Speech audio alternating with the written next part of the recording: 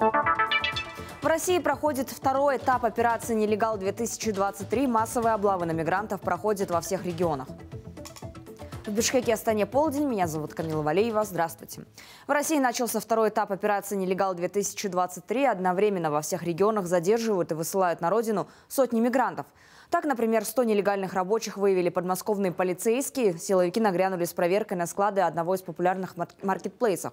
Об этом сообщает пресс-служба управления МВД по области. Среди выявленных нелегалов один находился в федеральном розыске, еще 26 нарушили правила пребывания в стране.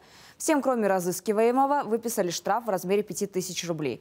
Нарушители должны покинуть страну. Сейчас полиция выясняет, кто именно нанял иностранцев без соответствующих документов. В поисках нелегальных мигрантов силовики проверяют и развлекательные заведения. Так правоохранители Ханты-Мансийска пришли в ночной клуб, где проводят время граждане стран Центральной Азии.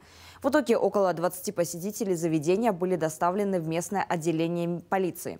В ходе проверки полицейские установили, что пятеро из них находятся на территории страны незаконно, сообщает пресс-служба МВД в области.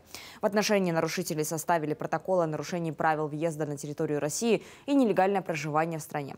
Также в Московской области сотрудники МВД проверили стройки, магазины, общежития и районы, в которых живут трудовые мигранты ходе рейда в городе Лосино-Петровске силовики проверили 160 иностранцев, сообщает в МВД России. 15 из них привлекли к административной ответственности за нарушение режима пребывания и незаконное осуществление трудовой деятельности. На каждого из них наложили штраф в размере 5000 рублей с последующим выдворением за пределы страны.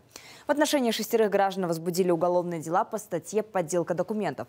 Телеграм-канал «Многонационал» пишет, что более 100 иностранных рабочих задержали в Хабаровске. Массовые рейды против мигрантов проходят проходит и в Иркутской области. Сотрудники полиции проверяют места, где могут находиться иностранцы без гражданства, а также ищут тех, кто находится на территории страны незаконно.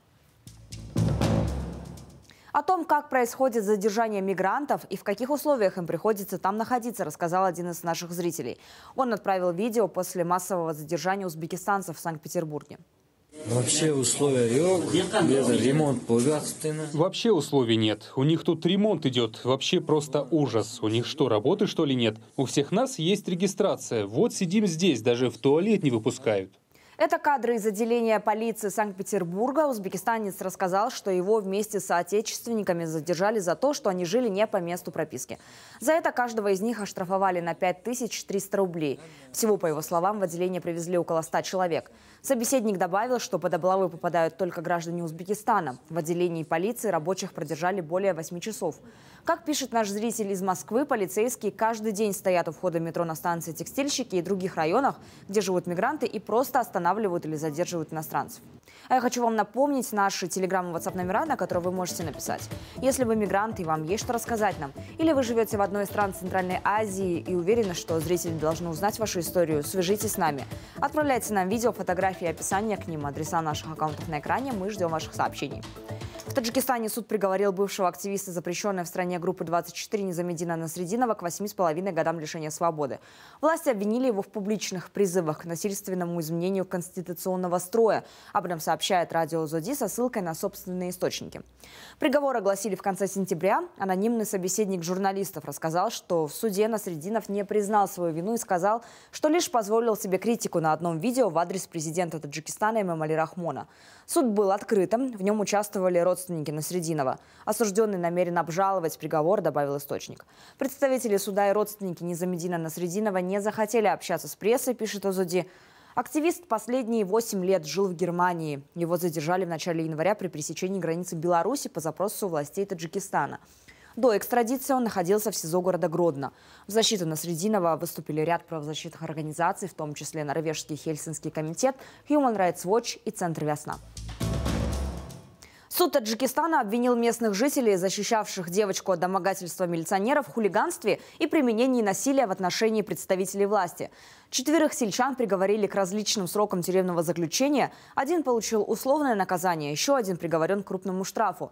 Милиционеров же признали потерпевшими по этому делу. Об этом сообщает радио «Зуди» со ссылкой на, исто... на... работника суда из Равшана. Среди осужденных дядя, дядя несовершеннолетней девочки, которая подверглась домогательствам. Одного из них, Джамаледина Рахматова, приговорили к трем годам колонии строгого режима. Другой, Гайрат Рахматов, получил полтора года условно.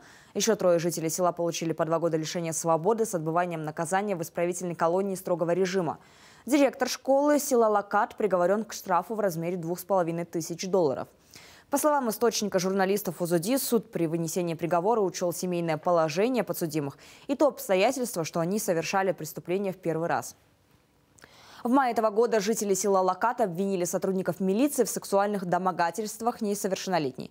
Они рассказали, что 31 мая увидели машину с затемненными стеклами, из которой были слышны крики о помощи. В автомобиле они увидели заплаканную школьницу, которая отбивалась от сотрудников милиции. Сельчане попытались вступиться за нее. Рукия Ниоскулова, мать девочки, ранее заявляла радио Зуди, что сотрудники милиции города насильно удерживали ее дочь в машине и делали ей непристойные предложения. В итоге девятерых местных жителей задержали, власти обвинили их в избиении трех силовиков.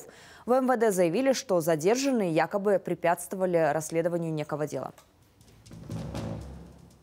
Принципы светского государства должны строго соблюдаться во всех сферах, в том числе в образовании. Об этом президент Казахстана Касым Жомарт Токаев заявил на Республиканском съезде педагогов. Он отметил, что школа – это прежде всего образовательное учреждение, куда дети приходят получать знания. Тогда как религиозные убеждения, по словам президента, это выбор и частное дело каждого гражданина. Свобода вероисповедания в нашей стране гарантируется законом. Думаю, будет правильным, если ребенок сделает свой выбор, когда уже подрастет, и у него сформируется собственное мировоззрение. Самое главное – воспитать поколение, обладающее открытым мировоззрением, ясным сознанием, верное традициям. В Казахстане все еще не утихают споры между администрациями школ и родителями девочек, которые носят хиджабы. Власти, ссылаясь на закон, настаивают на единой школьной форме. Родители же утверждают, что ношение платка в школах никак не препятствует учебному процессу. В Караганде группа родителей обратилась в Конституционный суд, после чего их дочерей начали пускать на уроки. Как и у меня, как и у родителей, также и у других родителей есть опасения, то, что данный вопрос, он только временный.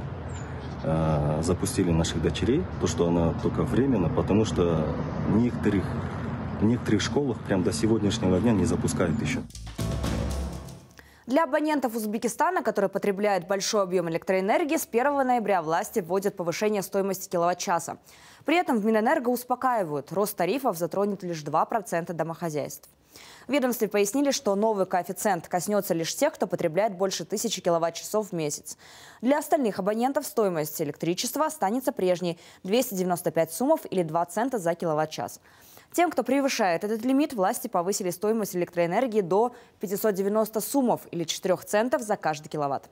Стоимость тарифа не повышается, она остается на уровне 295 суммов. Однако для усиления настроения экономии у людей и ликвидации основ теневой экономики предусматривается дополнительный повышающий коэффициент. Это является справедливым, а также экономичным и энергоэффективным решением. Это были главные новости к этому часу. Больше новостей из Центральной Азии в вечерней программе с Шавкатом Тургаевым. Смотрите наши выпуски в социальных сетях, делитесь с друзьями, ставьте лайки и комментируйте. Так их смогут увидеть гораздо больше людей. Всего доброго, до свидания, хороших выходных.